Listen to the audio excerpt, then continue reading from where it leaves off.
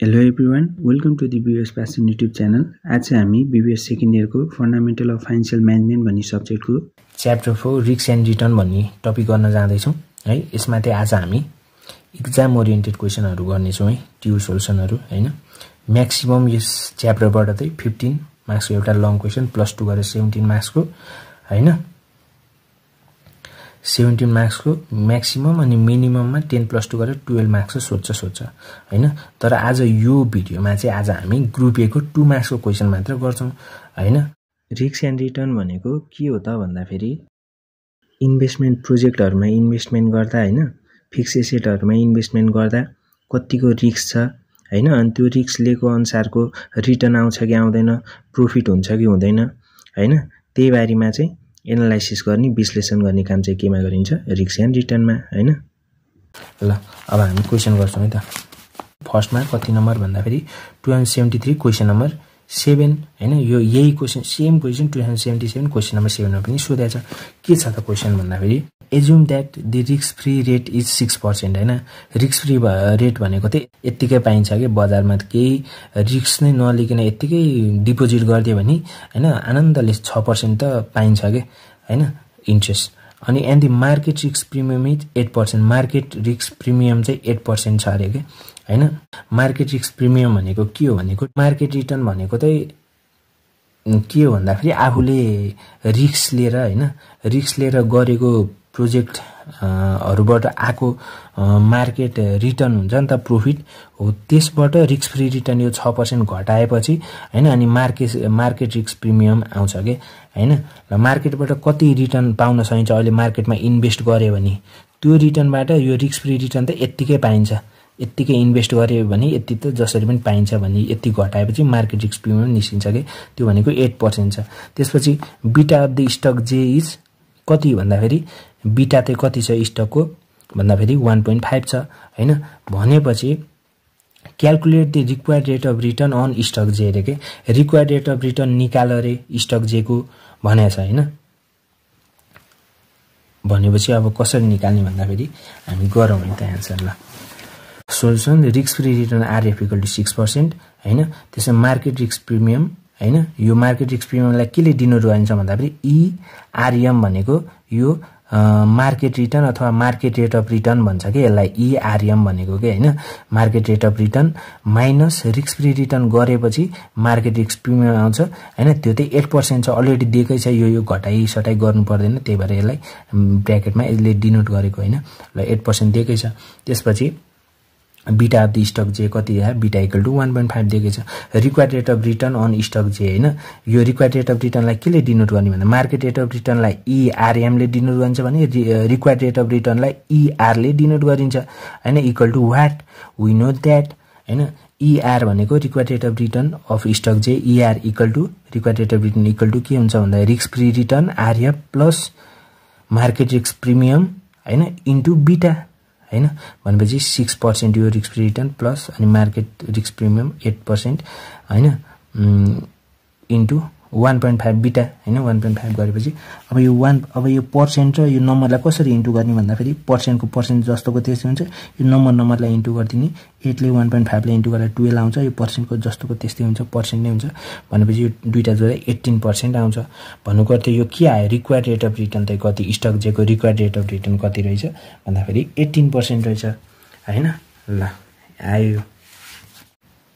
ल अब हामी अर्को क्वेसन गर्छौँ। Two hundred seventy four question number four के छ त भन्दाखेरि the portfolio consist of a a portfolio consist of stock A and stock B with with beta zero point nine and one point six respectively होइन? Stock एको र stock बीको चाहिँ beta zero point nine र one point six छ respectively अनि if stock A consist of eighty percent of investment in portfolio. Stock एमा त एट्टी पर्सेन्ट इन्भेस्टमेन्ट गरे हन्ड्रेड पर्सेन्टको एट्टी पर्सेन्ट त स्टक एमा गरेको छ भनेपछि बाँकी बिस पर्सेन्ट केमा गरे रहेछ बीमा गरे रहेछ भन्ने बुझ्यो। होइन अनि what will be the portfolio beta beta भने पोर्टफोलियो बिटा भने के ए के रहेछ कति रहेछ भनेर सोधेको छ होइन। भनेपछि हामीले ठ्याक्क गर्छौँ भनेपछि बिटा अफ द स्टक ए कति देखा beta A zero point nine beta of the stock B beta B कति देखा वान पोइन्ट सिक्स होइन? अनि त्यसपछि एट्टी पर्सेन्ट इन्भेस्टमेन्ट चाहिँ स्टक एमा गरे भनेपछि इन्भेस्टमेन्ट वेट वेट कति छ त टोटल एट्टी पर्सेन्ट हो नि त वेट होइन? इन्भेस्टमेन्ट वेट स्टक एमा होइन? Investment weight of stock A equal to W weight भनेको डब्लु डब्लुए वेट स्टक एको वेट भनेपछि डब्लुएले डिनोट गर्ने equal to eighty percent eighty पर्सेन्टलाई percent हटाउँदा जिरो पोइन्ट एट आउँछ होइन? Eighty divide by hundred zero point eight आयो होइन? अनि त्यसपछि investment weight of stock B कति हुने भयो भन्दाखेरि वेट अफ स्टक बी होइन यसले डिनोट गर्छ डब्लुबीले होइन इक्वल टु कति हुने भयो भन्दाखेरि डाइरेक्ट एट्टी पर्सेन्ट यसमा भने चाहिँ यसमा ट्वेन्टी पर्सेन्ट हो। डाइरेक्ट ट्वेन्टी पर्सेन्ट लेख्यो भने भयो अथवा टोटल हन्ड्रेड पर्सेन्टमा एट्टी पर्सेन्ट माइनस गरेपछि ट्वेन्टी पर्सेन्ट आयो बीको बिटा होइन एट्टी पर्सेन्ट एमा गरेछ भने बाँकी भएको त बीमा गरे हुन्छ नि भनेपछि बिस पर्सेन्ट यसमा बिमा गरेछ भनेपछि यसको इन्भेस्टमेन्ट रेट कति रहेछ? जिरो पोइन्ट टू होइन बिस पर्सेन्ट रहेछ होइन। भनेपछि पोर्टफोलियो बिटा हामीलाई निकाल भनेको छ भनेपछि पोर्टफोलियो बिटा इक्वल टु वाट पोर्टफोलियो बिटा भनेको के रहेछ भन्दा formula beta A into weight of A plus beta B into weight of B formula अनि ट्याक्कै पुट गरिदिने होइन? पुट गरेपछि ट्याक्कै इन्टु गरिदिने ट्याक्कै निस्किन्छ एन्सर होइन? ल। अब two thousand seventy five question number सेभेनको गरौँ है। Assume that the risk free rate is eight percent and the market risk premium is say six percent risk free return RF यति छ मार्केट रिस्क प्रिमियम भनेको six percent त्यसपछि beta of stock जे भनेको बिटा equal to कति भन्दाखेरि two अनि average rate of return on stock J is eighteen percent हो अब रिक्वायर्ड रेट अफ रिटर्न हामीलाई सोध्यो यसमा चाहिँ के सो के भने भन्दाखेरि एभरेज रेट अफ रिटर्न चाहिँ कति छ अरे भन्दाखेरि एभरेज रेट अफ रिटर्न चाहिँ एट्टिन पर्सेन्ट छ अरे हाम्रो होइन? अनि के सोधे भने is stock J correctly priced रे क्या करेक्ट प्राइस छ त त्यो स्टक जेको चाहिँ प्राइसिङ राम्ररी गरेछ नि त होइन? करेक्टली गरे कि छैन प्राइसिङ होइन? प्राइस डिटर्मिनेसन राम्ररी भएको छ कि छैन स्टक जेको भनेर सोधे कि होइन? भनेपछि यो कसरी पत्ता लगाउने भन्दा यसको रिक्वायर्ड रेट अफ रिटर्न निकाल्ने अनि ठ्याक्कै थाहा भइहाल्छ एभरेज रेट अफ रिटर्न यति छ रिक्वायर्ड रेट अफ रिटर्न हेर्ने ठ्याक्कै होइन? अब इक्वेल छ भने करेक्टली प्राइस करेक्टली प्राइस गरेछ होइन? अनि इक्वेल छैन भने करेक्टली प्राइस गरेको छैन होइन? ल त्यही त अनि। होइन? भनेपछि अब ठ्याक्कै अब क्वालिटी प्राइस छैन भने के गर्ने भन्दाखेरि अब रिक्वायर रेट अफ रिटर्न निकाल्ने होइन? ठ्याक्कै त्यो निकालेपछि थाहा हुन्छ। करेक्टली प्राइस गरे कि छैन भनेर। होइन भनेपछि टु थाउजन्ड सेभेन्टी फाइभमा आरएफ ठ्याक्कै अहिलेको टु थाउजन्ड सेभेन्टी थ्रीकै क्वेसन हो होइन तर करेक्टली प्राइस छ कि छैन मात्र सोधेको भने आरएफ यति अनि मार्केट एक्सप्रिम यति त्यसपछि बिटा इक्वल टु एटी होइन average rate of return eighteen percent छ यो एक्स्ट्रा देखा होइन अनि किन भन्दाखेरि क्वार्टरली प्राइस छ कि छैन भनेर। अनि we know that require rate of return निकाल्नै पऱ्यो होइन ER equal to RF plus होइन यो market return minus market free return भनेको मार्केट एक्सपिरियम यो भइहाल्यो यो भने सिक्स पर्सेन्ट छ अनि इन्टु बिटा टू भनेपछि ट्वेन्टी पर्सेन्ट आयो रिक्वायर रेट अफ रिटर्न होइन? अनि के छ भन्दाखेरि अब require rate of return of stock J equal to twenty percent is higher रे के? रिक्वायर रेट अफ रिटर्न हाम्रो कति आइरहेछ भन्दाखेरि ट्वेन्टी पर्सेन्ट आइरह होइन? भन्नुको अर्थ चाहिँ एट्टिन पर्सेन्टभन्दा बढी भयो नि त। भनेपछि the stock is not correctly priced होइन? इट इज अब यहाँ लेख्दै हुन्छ होइन? It is it is O B E R P R I C E D overpriced होइन? रेट अफ रिटर्न कति आयो हाम्रो required rate of return twenty percent होइन? जब कि एभरेज रेट अफ रिटर्न नै एटिन पर्सेन्ट छ भनेपछि हाम्रो ट्वेन्टी पर्सेन्ट भनेपछि टू पर्सेन्ट बढी होइन? ओभर प्राइस भएको रहेछ स्टकको होइन? भनेर बुझ्यो होइन ल यो एन्सर अब त्यसपछि two thousand seventy six question number फोरमा के छ भन्दाखेरि suppose you invested rupees thirty five thousand in stock A that has a beta coefficient of zero point eight and forty thousand in stock B that has a beta coefficient of one point four रे के होइन? What is your portfolio beta portfolio बिटाको formula हामीलाई अघि थाहा थियो नि beta of A into weight of A plus beta of B into weight of B होइन? हामीलाई यहाँ स्टक ए र स्टक बी पनि दिएको छ होइन? तिनीहरूको बिटा पनि दिएको छ दुइटैको होइन? अनि अब वेट अफ ए र वेट अफ बी देखा त हामीलाई? फर्स्टमा कति? एट्टी पर्सेन्ट र एट्टी पर्सेन्ट थियो भनेपछि अर्को ट्वेन्टी पर्सेन्ट हो भनेर हामीले गरेका थियौँ। यसमा पनि एमाउन्टै देखा क्या त्यसमा पर्सेन्ट दिएको थियो यसमा चाहिँ एमाउन्ट देखा भनेपछि अब यो यसमा यति इन्भेस्टमेन्ट वेट यति थर्टी फाइभ थाउजन्ड छ यसको बीको इन्भेस्टमेन्ट फोर्टी थाउजन्ड छ भनेपछि टोटल इन्भेस्टमेन्ट कति रहेछ? Forty thousand plus thirty five thousand गरेपछि four five six seven seventy five thousand total investment रहेछ। भनेपछि अब सेभेन्टी फाइभ थाउजन्डमा थर्टी फाइभ थाउजन्ड कति पर्सेन्ट वेट हुने भयो अनि फोर्टी थाउजन्ड कति पर्सेन्ट वेट हुने भयो त्यो वेट निकालेर अनि ठ्याक्कै बिटा पोर्टफोलियो बिटा निकाल्नुपर्छ होइन? भनेपछि बिटा अफ द स्टक ए कति? दिएकै छ zero point eight. Beta of the stock B दिएकै छ। Beta B equal to one point four. Investment weight of the A होइन? डब्लुए इक्वल टु होइन? Weight of the WA equal to कति? Thirty five thousand छ होइन? एमा invest गरेको।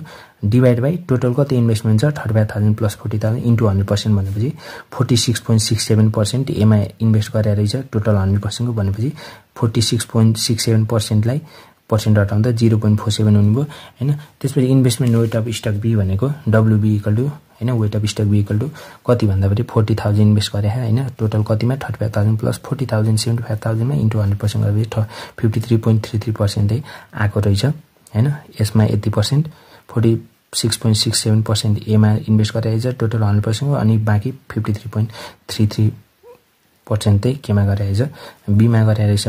होइन? भनेपछि यसलाई पर्सेन्ट छ यो पर्सेन्ट हटाउँदै जिरो पोइन्ट फाइभ थ्री आयो होइन? भनेपछि पोर्टफोलियो बिटा बिटा पी इक्वल टु के हुने भयो भन्दाखेरि beta A into weight of A plus beta B into weight of B होइन? ट्याक्कै यो भ्यालु पुट गरिदिने त्यसपछि यो आयो एन्सर होइन? टु सेभेन्टी सेभेनको क्वेसन मसँग छ। डिफाइन दि टर्म पोर्टफोलियो पोर्टफोलियोलाई डिफाइन गर भने क्या। होइन? पोर्टफोलियो भने के हो भने यो पोर्टफोलियो बिटाहरू हामीले यो पढ्यौँ नि त। पोर्टफोलियो भनेको यही च्याप्टरको हो कि होइन? टर्म पोर्टफोलियोलाई डिफाइन गर भने क्या होइन? टु थाउजन्ड सेभेन्टी सेभेनमा आज क्वेसन टू मार्क्समा होइन? भनेपछि हामीले यहाँ डिफाइन गर्छौँ है? डिफाइन दि टर्म पोर्टफोलियो होइन? भनेपछि two thousand seventy question number थ्रीमा two मार्क्सको लागि भनेपछि the portfolio is the combination of wealth into two or more asset portfolio भने कि हामीले सेयरहरू त्यो डिम्याट एकाउन्टहरूमा यो पोर्टफोलियो भनेर त्यहाँ हुन्छ अनि त्यहाँ हामीले हेर्छौँ अनि त्यो हाम्रो डिम्याट एकाउन्टमा होइन पोर्टफोलियो हेर्दाखेरि के के हुन्छ भन्दा कतिको हामीसँग टोटल सेयर छ कतिको स्टक छ सब त्यहाँ देखाइन्छ नि त यतिको यतिवटा छ। सेयर यति प्राइस छ त्यसको यति बढ्या यति घट्या छ त्यहाँ पोर्टफोलियोमा देखाउँछ नि त मजाले। हो भनेपछि त्यो एउटा कम्बिनेसन कलेक्सन हो क्या त्यो आफ्नो सम्पत्तिको कलेक्सन हो कि सेयरहरूको होस् अथवा अरू नै प्रोपर्टीहरूको होस् होइन? त्यसलाई एउटा सिस्टमेटिक तरिकाले ढाँचा बनाएर एउटा ढाँचामा आनन्दले त्यसलाई एरेन्ज गरेर राख्ने हो भने त्यसलाई नै पोर्टफोलियो भनिन्छ। होइन? पोर्टफोलियो भन्ने ढाँचा हो कि एउटा होइन? ढाँचा हो सम्पत्ति र स्रोतको होइन? ल भनेपछि portfolio is the combination of the wealth into two or more assets होइन? हो पोर्टफोलियो भनेको चाहिँ अब त्यो त सेयरको पोर्टफोलियोको कुरा गरेँ अघि मैले। अब यहाँ हाम्रो पोर्टफोलियो मेरो अझै ठुलो पनि हुनसक्छ कि हाम्रो जस्तै मेरो मैले पोर्टफोलियो आफ्नो बनाएँ मेरो घर यतिको छ भनेर घर देखाएँ त्यसपछि गाडी यतिको छ भनेर ट्याक्क पोर्टफोलियो बनाएँ होइन? जग्गा यतिको छ भने ट्याक्क मैले आफ्नो सम्पत्तिको विवरण बनाएर कि? पोर्टफोलियो त्यस्तैलाई त भनिन्छ नि वेल्थको विवरण होइन? ल भनेपछि portfolio is the combination of the wealth into two or more assets होइन? त्यसपछि it the collection of the financial assets and अब यो चाहिँ बिजनेसको फर्ममा है पोर्टफोलियो भने त्यसरी बुझाएँ। यो बिजनेसको भाषामा चाहिँ के हो भन्दाखेरि collection of the financial assets and investment क्या फाइनेन्सियल एसेटहरू होइन? इन्भेस्टमेन्टहरूको कलेक्सन हो अरे क्या एरेन्जमेन्ट हो अरे क्या होइन? Like stock bonds cash and cash इक्विभ्यालेन्टहरू सेक्युरिटिजहरू इन्भेस्टमेन्ट सेक्युरिटिजहरू भन्न खोजेको होइन? अनि त्यसपछि सर्ट टर्म सेक्युरिटिजहरू त्यसपछि फन्ड्सहरू प्रोपर्टी गोल्ड इटिसी रे क्या हो यस्तो वेल्थहरू हो के के छ? सम्पत्तिहरू के के छ? हो यिनीहरूलाई चाहिँ होइन यिनीहरूको त्यो कलेक्सन हो अरे क्या यिनीहरूको त्यो कलेक्सन गरेर त्यसलाई एरेन्ज गरेर राख्ने एउटा ऊ हो कि? होइन एउटा ढाँचा हो होइन? Which are held or owned by the investor जुन चाहिँ यिनीहरूले कसले होल्ड गर्छन् अथवा ओन गरेर हुन्छ नि इन्भेस्टरले होइन? आफूले इन्भेस्टरले चाहिँ आफूले ओन गरेर हुन्छ नि आफूले होल्ड गरेर हुन्छ नि होइन? ल उनीहरूको सम्पत्तिको ढाँचा हो होइन? त्यसपछि a efficient portfolio of the asset can give higher return and can minimize the risk पोर्टफोलियोले चाहिँ के गर्छ भन्दाखेरि हायर रिटर्न दिन्छ अरे अनि रिस्क कम गर्छ अरे होइन? रिस्क पनि कम गर्छ अरे होइन? भन्नुको अर्थ चाहिँ के भन्न खोज्यो भन्दाखेरि अब मान्छेले एकै ठाउँमा इन्भेस्टमेन्ट नगरेर होइन? मैले एकै ठाउँमा जग्गामा मात्र इन्भेस्टमेन्ट नगरेर मैले होइन सेयरमा इन्भेस्ट गरेँ स्टक मार्केटमा त्यसपछि अलिकति जग्गामा अलिकति घरमा अलिकति के के होइन अरू इन्भेस्टमेन्ट प्रोजेक्टहरू के के छ होइन अरू अरू त्यस्तो प्रोजेक्टहरूमा मैले अलिकति यहाँ अलिकति यहाँ गरेँ भने त्यो धेरै रिस्की भएन नि त। अनि हरेकतिरबाट रिटर्न आउने भयो होइन एउटा इन्भेस्टमेन्ट प्रोजेक्ट गए पनि जान्छ तर अरू त बच्छ नि त। तर एउटैमा गऱ्यो भने त बढी रिस्क हुन्छ नि त होइन। त्यही भएर चाहिँ त्यस्तो एउटैमा गरिरह्यो भने चाहिँ त्यो पोर्टफोलियो अलिक भएन एउटा सिङ्गल कुरा भयो पोर्टफोलियो भएन ढाँचा भएन त्यो सम्पत्तिको होइन। अनि त्यस्तो रिस्की हुन्छ बट तर पोर्टफोलियोमा चाहिँ के हुन्छ त्यो सम्पत्तिको विवरण हो हरेक ठाउँमा इन्भेस्ट गरे हुन्छ भने त्यसरी गर्दा चाहिँ त्यस्तो इफिसियन्ट पोर्टफोलियोले चाहिँ के गर्छ भन्दाखेरि रिस्क कम गर्छ मिनिमाइजेज रिस्क अनि हायर रिटर्न दिने चान्स हुन्छ होइन त्यही त हो नि। And investor may manage their portfolio themself and may appoint money manage हो। इन्भेस्टरले चाहिँ मे म्यानेज दिएर पोर्टफोलियो दिन्छ आफैले हामीले म्यानेज गर्न पनि सक्छौँ कि? जस्तै इक्जाम्पलको लागि हामीले आफ्नो सेयर डिमेट एकाउन्ट चलाउँछौँ होइन त्यो हामीले आफैले किन्ने उ गर्ने यताउति अथवा स्टक मार्केटमा पसेर हामीले बेच्ने यताउति गरौँला होइन आफूले गर्न पनि सक्छ अथवा हामीले कोही मान्छे खटाएर यो अब त्यो सम त्यो समय स्टक मार्केट सम्बन्धी ज्ञान लिएर होइन त्यो मान्छेलाई के के गर्ने भनेर सोधपुछ गरेर एडभाइस एडभाइस लिएर रिकमेन्डेसन लिएर होइन उसको सल्लाह सुझाव लिएर आफूले सकिन्छ भने आफूमा नलेज छ भने आफूले पनि म्यानेज गर्न सक्यो होइन पोर्टफोलियो नत्र भने मे एपोइन्ट मनी म्यानेजर होइन अथवा फाइनेन्सियल एडभाइजर अथवा कन्सल्टेन्ट अथवा प्रोफेसनल पर्सन होइन टु म्यानेज सच पोर्टफोलियो होइन? त्यही त हो नि। होइन? कि त आफूले युज गर्दा पनि भयो आफूले म्यानेज गर्न पनि सक्यो कि त नसक्ने भए फाइनेन्सियल एडभाइजरहरूसँग कन्सल्टेन्टहरूसँग मनी म्यानेजरहरूसँग प्रोफेसनल पर्सनहरूद्वारा उनीहरूलाई खटाएर उनीहरूलाई एपोइन्ट गरेर होइन? आफूले पो उनीहरूलाई पोर्टफोलियो म्यानेज गर्न लगाए पनि भयो भन्नु खोज्यो है ल यही थियो है। ल आजको लागि यो च्याप्टरबाट यति नै। Bye bye see you again okay